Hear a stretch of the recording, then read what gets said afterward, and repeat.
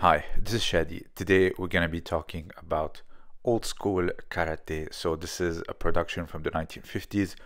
You can find it on Hal Sharp's channel. May he rest in peace. He has a great collection of so many old school footage that I myself use all the time. So you're gonna see here just how elegant. I don't know today the state of karate. I'm not a karateka myself, but just to see something that's so elegant, so elite, and just so beautiful to watch, and you can see someone has a lot of good foundation in their movement, a strong core, and also the self-defense aspect that is mostly gone in so many uh, martial arts. And we're gonna see all of this but of course before we do that please don't forget to check out my book the origins and history of judo it is a translation from a manuscript from 1903 available in french english and both bilingual with modern uh, japanese and to everyone who already got it thank you so first let's take a look at some basic strikes and you can see they have their way of doing it. The whole body just goes in for the strike. The quickness, the smoothness, and the softness in uh, doing it. Of course, that softness, there's a lot of hardcore training behind it, as you see here. Now, this part, they compare it with boxing just to see the difference in the movement, and you can just see how elegant it all is boxing and karate. So, Look at his hips, look at the core, how it is so stable and strong as he kicks and moves. This requires a very strong core, and even for judo and jiu-jitsu, you need a strong core because a lot of your back pain, believe it or not, comes from a very weak core and pelvic muscles. And here you can see just the snap, the elegance, and both of them even uh, a bit of sparring. Look at the legs and how they move, how stable he is and here you can see the difference in the movement and how they move and you can see why karate 70 80 years ago used to have this great uh, reputation and here you can see uh, female self-defense a very fundamental but very efficient striking where it counts and also the basic movement on how to use leverage to untie a particular uh, grip or forceful grip. Now, this is very reminiscent of the female self defense kata in judo. I believe they stopped using it around the end of the Second World War, if I'm not mistaken. But you can see it's how to use leverage, how to get yourself out of annoying grips, forceful grips, uh, basic strikes where it counts on the ear, on the solar plexus, etc., the chin, all of it. Not much of big movements, but it's just basic self-defense and basic scenarios that can help you quite a bit. So here you see attacks from behind, uh, someone trying to grip you from the side, etc. Bear hugs, of course, uh, a kidnapper's first uh, approach, I would say.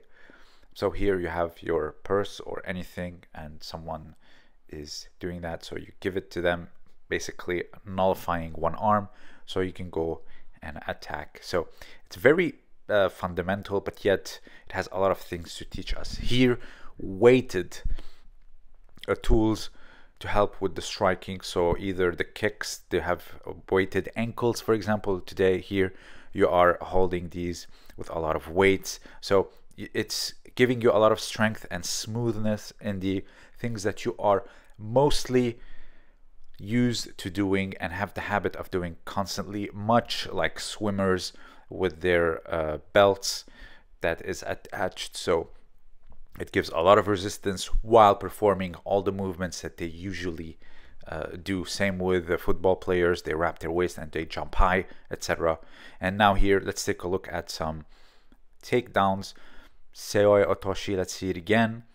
Drops down and just chops the hands and very similar to the fundamentals of Seoi Otoshi and you don't lift on the hips you just drop down and cut down with your hands. There's a variety of ways to cut down with the hands. It can be sleeve lapel one sleeve one arm uh, pushing on the inside of the elbow like we saw here. And here you can see a lot of uh, small foot reaps etc and uh, wrist locks. Here just classical uh, kata guruma you can see the strike itself is the factor that unbalances and puts them in that deer in headlight uh, moment.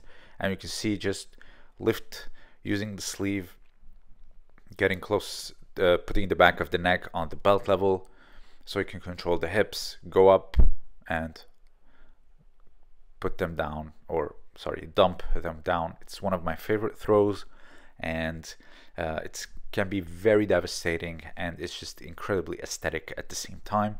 So now these uh, kata for self-defense in everyday life people seated uh, very uh, indicative of the culture of course and you can see that all the directions of attack are uh, mentioned or used in order for you to uh, defend against them and you can see there's the arms. You can kick you can strike. Uh, you can see it's a lot of the uh, effective uh, things. And also keep in mind the more you do these the more you are fluent with them and the more you are effective. Of course do it slow, do it good, and then do it beautifully, as Katanishi sensei says. Here you can see people sitting in chairs, and you just get uh, attacked. Basically, someone's trying to sucker punch you or trying to attack you from a blind spot. And here, but of course, you have to do them relentlessly and regularly in order to be good at them. Now, again, this is very reminiscent of. Uh, old school judo self-defense, the kime no kata. You can see you have kneeling down and of course even standing and with weapons.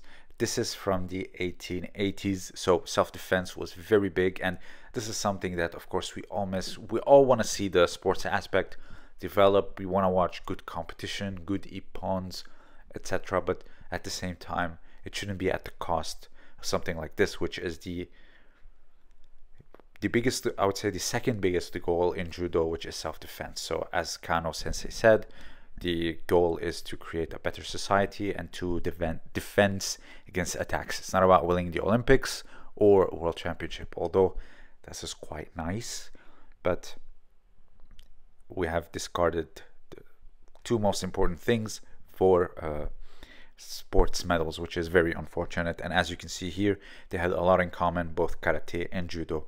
I don't know the history of the two and how they blended, uh, Okinawa with mainland Japan, etc. Uh, this is a long study, and I'm not going to comment on it since I'm not educated. So if you have anything to add, please let me know down below. Please don't forget to check out the book and my Patreon. This was Chadi, and thank you for listening.